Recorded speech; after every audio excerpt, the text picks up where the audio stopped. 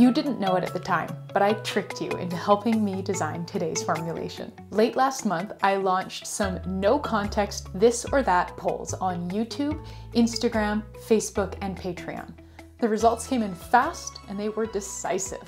Thick, rich, body, herbal. Today, I'm going to show you how I turned these four words into a thick, rich, herb-spiked body cream that's perfect for winter. You can make my formulation or you can apply the strategies I'll use to create this emulsion to your own formulations to make them rich and creamy and delightful. Let's go.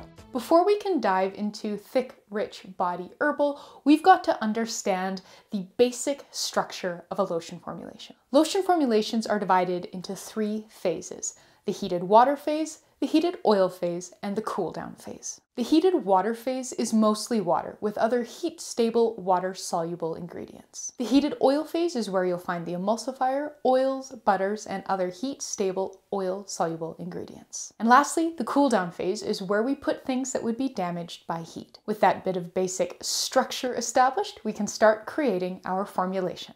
When I'm formulating an emulsion, I always start with the oil phase, since that's where lots of the viscosity and all of the richness decisions are made. The biggest contributor to the richness of an emulsion isn't what you might think. It's not the specific oils and butters you use, though those definitely play a role. What really matters is how much oil is in your emulsion. Just like with food, the more fat that is in the formulation, the richer it is. And that's why 35% cream is so much richer than 1% fat milk. I find an emulsion with 25% and up fat is typically pretty rich, but there's definitely some wiggle room in there for personal preference and the particular oils and butters you're using. I tried a few different versions and settled on a 28.5% oil phase for this formulation. Since this is a body cream rather than a hand cream or a face cream, I'm less concerned about how quickly it sinks into the skin. You can definitely use this cream on your face or your hands,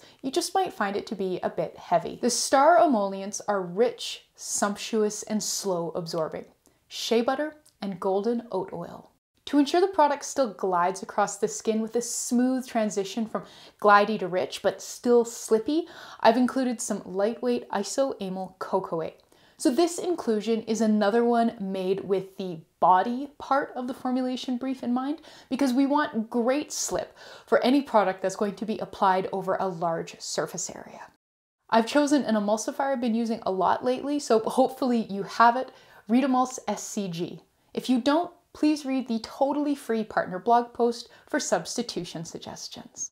The last ingredient in our heated oil phase is where we get lots of gorgeous, thick, creamy goodness.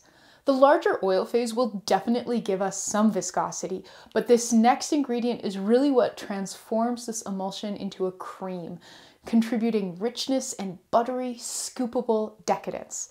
It is C10 to 18 triglycerides, also known as butter pearls. Now all we need to do is sort out the herbal part and we are done our formulation to-do list. I decided to broaden it to herbal and botanical to add a few more options. Knowing this was a rich, thick emulsion, making it perfect for winter skincare, I chose beautiful botanicals that would help nourish the skin in cold, dry conditions. For skin soothing and moisturizing goodness, I included some aloe vera juice in the heated water phase. You'll notice my aloe vera juice is a thin fluid, not a thick green gel, and that is really important. So please look up aloe vera in the free Humble Humblebee and Me encyclopedia to learn more about the aloe juice that we use in cosmetics so you can be sure you're using the right kind. For additional skin soothing, anti-inflammatory goodness, I've added two herbal extracts to the cool down phase, calendula and chamomile. I've also included two super concentrated botanically derived actives, bisabolol and allantoin, these ingredients occur naturally in plants like chamomile and comfrey root, but have been isolated or synthesized to create a super concentrated version. Think of it like using sugar when you're baking instead of using the whole sugar cane. It's purely the part of the plant you want. Our last bit of moisturizing, skin-soothing botanical awesomeness also pairs beautifully with our star emollients, colloidal oatmeal. I've included it in the heated oil phase rather than the water phase, so it doesn't transform into a gloppy, porridgey goo when heated. At this point, we have checked off everything on our little formulation to-do list, thick, rich, body herbal. Now we've just got a couple loose ends to tie up and we're ready to start formulating. We need a preservative so that this doesn't turn into a moldy mess in a matter of days.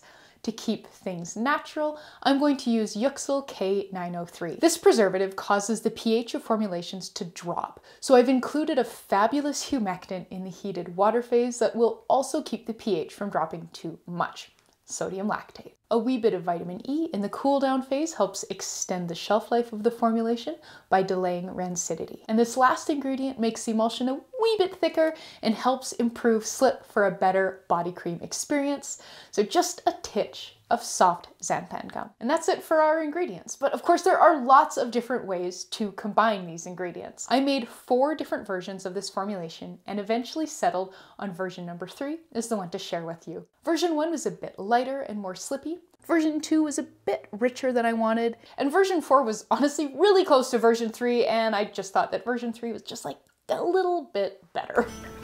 I'm sharing all four versions with my $5 Not patrons, so if you'd like to check out the other three versions, please consider becoming a patron. But let's make version 3 right now.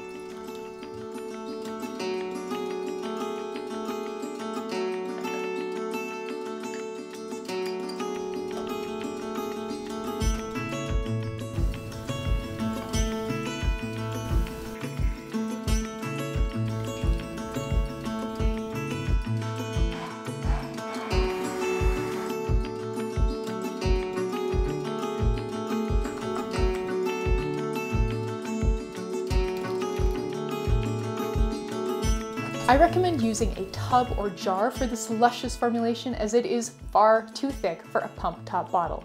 The Lush-like tubs I'm using were a gift from Yellowbee. And here's the finished, thick, rich, herb-spiked body cream. Isn't it decadent?